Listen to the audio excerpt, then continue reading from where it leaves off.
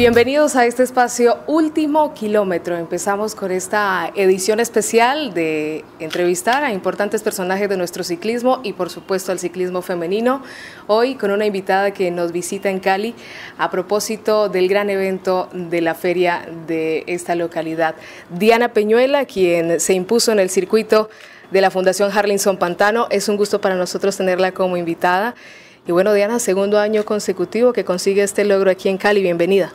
Bueno, gracias Mari por la invitación. Eh, la verdad es que, perdón, siempre muy contenta pues de estar eh, en Cali compitiendo. Es un circuito que, que, se presta pues como para mis capacidades y para para lo que eh, es apto para mí en el ciclismo, entonces muy feliz de estar en la feria y bueno, de, de estar también aquí contigo en Último Kilómetro. Bueno, un año de muchísima experiencia, de muchas vivencias. Diana, se estrenaba usted al inicio de esta temporada ganando en Manizales, en casa, también en un circuito de feria. Hablemos un poco de lo que fue este recorrido por Europa, por las clásicas, ese paso por Bélgica, un ciclismo tan auténtico, pero que para los colombianos es un poco nuevo a pesar de, de haber vivido algunas experiencias ya. Sí, bueno, lo que pasa en Bélgica y con las clásicas es que son carreras que tienen muchos obstáculos para uno, o sea, no es solo la competencia o el clima, sino que las carreteras son totalmente distintas. Acá tú no tienes tantos obstáculos, no tienes tantas rotondas, tantos eh, espacios reducidos, tanto pavé o, o, cosas que todo el tiempo hacen que tu cerebro esté demasiado atento y la energía que se consume es impresionante. Entonces, por eso es que nos da duro a los colombianos, como por todo ese cambio de ambiente, todo ese cambio pues de, del entorno en el que estamos acostumbrados a entrenar, da muy duro, pero son carreras hermosas, son carreras que, que bueno, te transportan a otra era, la gente lo vive así, la gente te, te, ve como un gladiador, como, como un guerrero, como si estuvieras en la guerra y te sientes así, te sientes como, como en un ambiente de voy a muerte o si no, no llego, o sea, entonces es, es una experiencia súper bonita. A propósito de esta participación en el circuito Harlinson Pantano, hablábamos que es muy escaso ver un recorrido de este tipo en nuestro país. De pronto para ti es más familiar por tu paso por Estados Unidos, eh, pero tener un circuito rápido, completamente envallado, creo que también se suma a esa experiencia que ya ha vivido en Estados Unidos. Sí, es mucho más eh, mi ambiente por lo que corrí tres años en Estados Unidos, el tipo de, de, de, carreras que se hace allí, pues las más comunes, las más populares son los criteriums, son un poco distintas, hay muchos más obstáculos, hay más curvas, entonces digamos en un espacio de, en un circuito de kilómetro, kilómetro y medio te puedes encontrar 10 curvas, acá en este circuito solo nos encontrábamos dos, pero es un circuito pues que te permite controlar muy bien las fugas, ver quiénes están moviendo, entonces se hace más fácil pues como para, para tú controlar y manejar la carrera, especialmente si corres solo. Y, y eso te lo da mucho la experiencia pues de, de correr criterium, criteriums en Estados Unidos. Bueno, la vemos con estos colores de la leche Polini, Cuéntenos un poco de esa experiencia. Ya nos habló de, de, lo que pasó en Bélgica, de qué significan estas carreras para cualquier ciclista.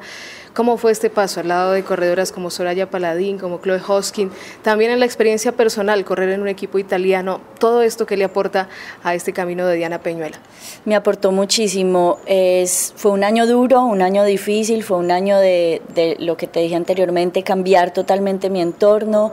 Venía de correr en Estados Unidos y, y allá el tipo de competencia es distinta, pero también la forma de vivir la competencia es distinta.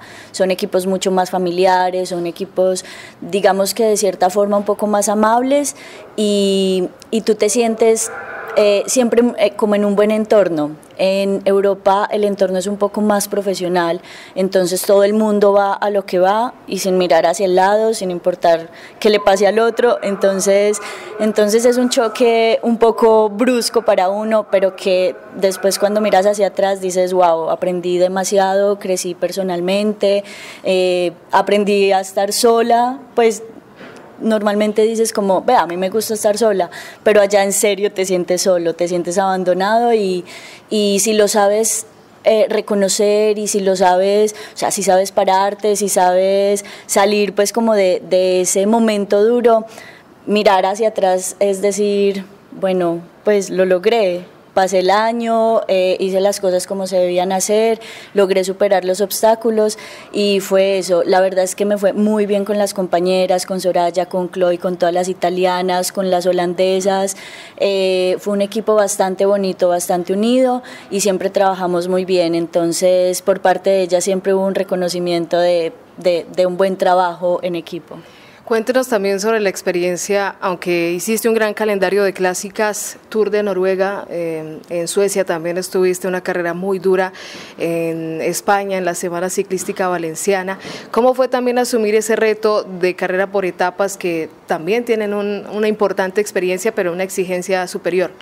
Bueno, para mí es un poco difícil ese tipo de carreras. Me siento mucho mejor en las carreras de un día, como las clásicas o bueno, mundial o panamericanos. Pues carreras de un día me va muchísimo mejor. En estas carreras eh, por etapas siempre tengo un día en el que fallo un poco, entonces eh, la energía se me va. El Tour de Noruega fue demasiado duro, o sea, a lo, el penúltimo día le decía a Paula Patiño y ella me decía también a mí, me decía, no sé cómo voy a terminar. Después del primer día hubo un aguacero impresionante, o sea, toda la carrera llovió, toda, toda la carrera, y eso me desgastó muchísimo porque veníamos de correr en España en un buen clima, llegamos allí a las carreras nórdicas, pues súper frío. No, es, no hacía mal clima, pero el cambio era bastante brusco y pues bueno, eso siempre pesa un poquito y finalmente terminé, pero no sé cómo, o sea, era una experiencia como bueno, toca correr otra vez, una etapa de 140 kilómetros, ¿cómo voy a terminar? Porque no me sentía en capacidad de hacerlo, sentía que mi cuerpo estaba luchando por, por sentirse bien, por sentía como si ya me fuera a enfermar, pero mi cuerpo sabía que no se podía enfermar porque todavía había tres etapas que había que hacer, entonces, bueno, es bastante difícil ese tipo de, de competencias pero bueno, no, también súper bonitas, logramos terminarlas todas. La verdad es que todo el calendario eh, durante el año, mi primera experiencia en Europa, no logré terminar muchas carreras, estas todas las logré terminar, solo la Lies-Baston-Lies no pude, por el clima también fue aterrador y bueno, se me congeló todo el cuerpo y no fui capaz de terminar, pero el resto de competencias siempre estuve pues ahí para, para ayudar a mi equipo. A propósito de la mención de Paula Patiño, Diana, ¿cómo vivió este entorno también? Mm, son pocas las colombianas, se está logrando un camino interesante. ¿Cómo fue también encontrarse con otras compatriotas en equipos importantes y de una u otra manera sentirse acompañado en un lote tan internacional? Bueno, fue muy bonito. La verdad es que cada vez que veía a, Paulita, pues nos hablábamos y, tú piensas que tú eres el único que sufre o que está ahí, pues eh, viviendo malas experiencias o, tratando de luchar contra contra cosas pues que pasan en el pelotón o en tu equipo o en tu ambiente o contigo mismo, con tu entrenamiento y nada, hablar con ella y saber que ella estaba pasando por lo mismo, que de pronto tampoco se sentía tan bien, tan, tan, como, tan en forma como uno quisiera, es, es bueno, es sentirse como, bueno, no soy la única y acá estamos y tenemos que sacar el nombre del país en alto y todo esto, entonces es chévere, es chévere tener esa compañía allá y, y podernos ver en algunas competencias. Con ustedes dos ocurre un caso muy particular porque son experiencias muy diferentes. Paula es una chica que está empezando, que ha hecho un, camino muy importante, ha tenido también la oportunidad de empezar desde muy joven. El caso de Diana es de llegar un poco tarde al profesionalismo, pero también empezar a estar presente en los equipos importantes del mundo. Em, ¿Cómo podríamos explicarle al aficionado eh, que son procesos diferentes y que son igual de válidos y que están buscando, pues eso, igual crecimiento para el ciclismo femenino colombiano y aportarle ese camino a otras chicas? Sí, mira, Mari, que es, es difícil porque uno llega allí eh, con 33 años y este año yo era la mayor de mi equipo de la Leche Polini, pero todas se veían mucho mayor que yo. ¿Por qué? Porque todas tenían más experiencia que yo, más años en la bici, más años en estas competencias, conocían las competencias. Entonces, a pesar de que yo tenía más edad, era la de menos experiencia y la, la niña de, del equipo, por decirlo así, porque pues todo esto era nuevo para mí. Entonces es un poco difícil porque la gente piensa que por la edad entonces ya tienes que tener toda la experiencia del mundo y tienes que sabértelas todas y, las, y la situación no es esa, la situación es, sí, empezamos, yo empecé un poco tarde, Paulita empezó más temprano, a eso tenemos que llegar, a que de pronto las niñas tengan esa oportunidad más temprano para que más equipos estén interesados en niñas, que puedan hacer mejor el proceso y no, no lleguen a chocarse simplemente como con el ciclismo europeo y el ciclismo profesional que es muy distinto al que vivimos acá. Entonces, es un proceso duro, pero que me llena de satisfacción porque le puedo decir a la gente como veas que nunca es tarde, pues, y, y, los procesos se pueden vivir de forma diferente, no tiene que ser algo establecido, que es que tienes que empezar a montar en bicicleta a los siete años y pasar por prejuvenil y luego por juvenil y luego, no, yo entré de una a la élite, pero entré con muchas ganas, entonces el, el proceso es más interno, es, bueno, yo hasta dónde quiero llegar y estoy dispuesto a hacer qué para llegar. Entonces es más, es más como, como ver por dónde hacemos, hace cada uno su propio proceso y de la gente que se rodea para poder llegar allá. En todo este camino de la temporada viene un momento muy especial eh, para su región, para sus patrocinadores locales, los Juegos Deportivos Nacionales. Háblenos también de cómo vivió ese, ese momento en el ciclismo, eh, junto a las compañeras que de todas maneras ya la ven como una referente a nivel nacional y ese logro que también obtuvo en el podio, cómo vivió toda esta experiencia en Cartagena. Fue muy duro, Mari. Fue muy duro porque me generó demasiada ansiedad, demasiados nervios, o sea, estaba como nunca como en ninguna clásica. Yo sabía que en las clásicas o en las carreras en Europa sabía mi trabajo y sabía que tenía que responder a él, a quién tenía que lanzar o a quién tenía que ayudar en, en el pelotón o si yo tenía que responder, pues cómo iba a responder pero, pero en Colombia es eso, o sea, eh, ser referente pesa muchísimo, entonces te llena de nervios porque sabes que estás fuerte, sabes que estás bien preparado, pero no quieres que las cosas alrededor se salgan como de control y que todo salga perfecto. Entonces, eh, también la forma en la que se maneja la logística en Colombia es un poco más relajada y, y, eso genera mucha ansiedad, como, ah, no hay ruedas, bueno, pues no hay ruedas, y uno, no hay ruedas, ¿cómo así que no hay ruedas? Pues no puede ser. O no es que vamos a llegar un poquito tarde. ¿Qué? Pues, ¿cómo vamos a llegar un poquito tarde? Pues no, no, tenemos que llegar dos horas antes. Entonces, es como, como esas, esas, esos pequeños detalles que nosotros no hemos aprendido, que es que las cosas se hacen profesionalmente, que es que las cosas si se hacen, eh, o sea, si se organizan desde antes, pueden salir mucho mejor. Eh, no todo al final. Entonces, cuando ya has estado en un equipo profesional, cuando has estado en, otra, en, otros, en otras partes del mundo donde son un poco más organizados, más correctos con el tiempo, con todo esto, hace que, que tú te salgas un poco de control y digas, pucha, y entonces yo ahora cómo voy a hacer para lograr mis resultados si hay tantos factores que no están en orden.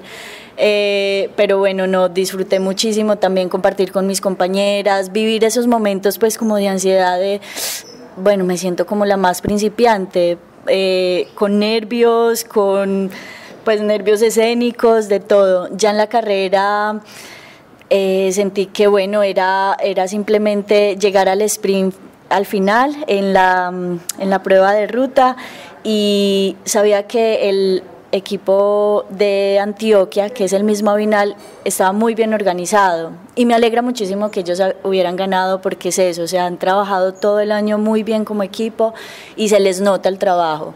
Entonces sabía, sabía que no estaba compitiendo contra la Sprinter, sino contra su tren, contra su equipo y me dio mucha alegría poder vivir eso, pues como, como verlas tan organizadas y saber que van por buen camino.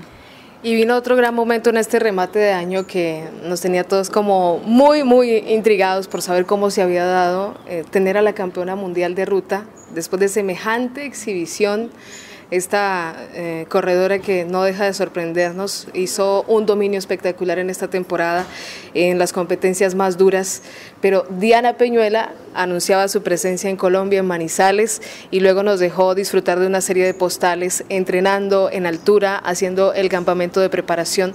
Cuéntenos también de esta gran experiencia y de la imagen que se ha llevado Anime Van Bluten de Colombia. Pues la mejor imagen que se puede llevar es que vuelve en un mes. Entonces, no, quedé enamorada de Colombia, fue una experiencia increíble, no solo para, yo creo que para ella, pero más para mí. Yo creo que disfruté más yo los paisajes, las carreteras por las que íbamos porque quería mostrarle varias partes de Colombia. Ella al principio de año ya quería venir después del Tour Colombia, o sea, en febrero. Eh, iba para Boyacá, pero iba sola, porque yo no iba a poder estar, Esteban Chávez tampoco iba a estar, entonces yo le dije, pues yo le ayudo con los contactos que tenga por allá, pero pues yo no, yo no puedo estar pues pendiente de todo. Entonces me dijo, no, voy a cuadrar mis tiquetes para noviembre, para final de temporada y empezar un bloque bueno para, la siguiente, para el siguiente año. Y yo, bueno, en noviembre sí voy a estar, yo te ayudo con todo lo que necesites. Finalmente le dije, si quieres te acompaño, o sea, si quieres voy a tu rueda, si quieres hacemos pues todo juntas. Y me dijo, bueno, si no hay problema por ti, eh, dale. Entonces, nada, hicimos muy, muy buena amistad, eh, compartimos casi un mes juntas y, y la verdad es que hicimos, o sea, estuvimos muy bien conviviendo juntas y eso fue demasiado lindo para mí porque pues eh, dejé de verla como la campeona del mundo y como la chica que hizo una fuga de 100 kilómetros sola, a verla como Annemiek van Bluten, como la persona amable, generosa, chévere, divertida que es. Entonces eh, fue bueno pues como cambiar esa imagen y logramos hacer una buena amistad a partir de eso. ¿Qué detalles eh, le impactaron o descubrió de cómo se prepara una corredora que lleva muchísima experiencia, como lo has anotado, de todas las corredoras europeas, de la forma como afronta la altura y toda esta preparación que para ellos es un camino vital para sus próximos objetivos en el año? Bueno, pues cosas que, digamos, nosotros estábamos acostumbrados a pensar como... Mm, entrenar por encima de 4000 no es tan bueno porque de pronto estás, pues, o sea, quedas muy cansado o algo así. Ella todo el tiempo estaba pensando en llevar a mucho estrés el cuerpo para que el cuerpo se volviera más fuerte. Entonces, eso fue uno de los detalles que, que de cierta forma me impactó porque estábamos pues creíamos en, en, algo diferente, como en no hay que darle recuperación, por allá arriba el cuerpo, exacto, se estresa, se estresa mucho y entonces no hay una buena recuperación. Ella, ella y su entrenador pensaban distinto. Otro detalle era que mm, a veces cuando íbamos de una ciudad a otra, le decía yo, pues vamos tras del carro, como muchos colombianos lo hacemos, para ahorrarnos el camino pues y el viento en contra en las partes planas. Y ella me decía no por eso es que ustedes no son buenos en la, no son buenos en la crono porque es que hay que ponerle el pecho al viento. O sea para que una trasmoto para que un trascarro hay que ponerles el pecho al viento para poder sentirlo y que en una crono no te haga pues o sea no no no te afecte tanto y la otra es que nunca deja de pedalear, subiendo, bajando, ella nunca descansa, nunca. Entonces los entrenamientos eran muy rápidos, ni siquiera porque el ritmo fuera rápido, sino porque nunca se paraba. O sea, en los, en los plancitos o en los descensos, ella seguía pedaleando a la misma potencia y, y pues uno dice, uy, un descencito, entonces, uh, respiro, ¿no? Ella no respiraba y no me dejaba respirar, sino que seguíamos de largo. Entonces, son detalles que, que digamos, ellos tienen muy en cuenta, que uno dice, es una bobada, pero, pero van a hacer la diferencia en una competencia, o sea, bastante. Entonces, a veces cuando yo llegaba muy cansada al final de del repecho, de la subida, yo decía, bueno, ya un descanso. Un descanso era que para abajo y si le daba el descanso a ella, se me iba y ya nunca la volví a ver. Entonces ahí es donde ellos sacan diferencia y nosotros nos quedamos esperando el descansito. Y bueno, la forma de comer es muy normal, le encantaron las frutas, le encantó el pan de Colombia, come pan impresionante, nosotros nos cuidamos mucho de esas cosas y la verdad es que esa es la gasolina para el cuerpo. Entonces fueron detalles que, que le cambian a uno un poquito el chip y, la forma pues de seguir entrenando. Bueno, eh, se anuncia también a final de esta temporada el cambio de colores, cambio de equipo, el Team Tipco, el regreso a Estados Unidos a una formación norteamericana que para ti es muy familiar. Eh, cuéntanos un poco de cómo se ha dado este paso y también de lo que significa en este camino regresar a un equipo del territorio americano. Bueno, me siento súper feliz, súper contenta de volver con los americanos. Eh, cómo manejan todo, la logística, eh, cómo manejan el equipo, lo que te decía antes. Es, es, una forma de ciclismo mucho más familiar, entonces me siento feliz de, de volver a manos de Rachel Hall, que era mi directora en el United Healthcare.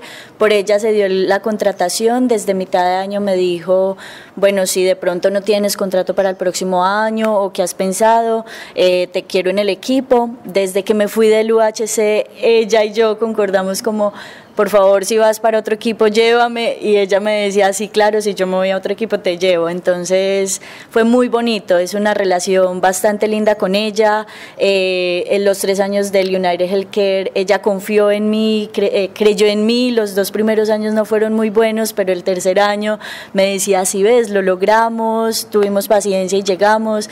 Entonces estoy feliz de volver a manos de ella y, y bueno, correr en Estados Unidos. Y, pero es un equipo que también hace temporada en Europa, entonces pues está muy bien para mí. ¿Hay algo ya en los planes, en el calendario con el equipo o apenas van a entrar en, en esa planificación? Pues no tenemos nada concreto, concreto, pero sí sé que a finales de febrero haremos un campamento de entrenamiento y de ahí iremos a Europa a correr algunas clásicas, las cuales no tengo claras cuáles, pero vamos a hacer unas semanas de clásicas allá. ¿Pero iniciará el calendario en Colombia, campeonatos nacionales? Sí, esa es la idea. Empezaremos eh, con el campeonato nacional. Eh, esperando que sea un circuito duro, que, que se acomode pues a las condiciones y, y bueno, pues que por fin se dé la tricolor para mí. Pues Diana, ha sido un gusto primero recibirla en Cali y verla una vez más eh, levantar los brazos en señal de victoria en este circuito de la Feria de Cali y solo nos queda desearle muchísimos éxitos. Es un camino muy bonito el que está construyendo usted junto a sus compatriotas para el ciclismo femenino y qué bueno también que esté acercando a esas rivales en carretera, pero a esas corredoras que pueden aportar muchísimo desde la experiencia y también se convierten en referentes para las nuestras. Muchas gracias por acompañarnos en Último Kilómetro. Bueno, muchas gracias a ti, Mari, a Último Kilómetro, a todos los que nos te siguen pues y nos siguen. Y el próximo año vamos a dar de qué hablar, así que pendientes.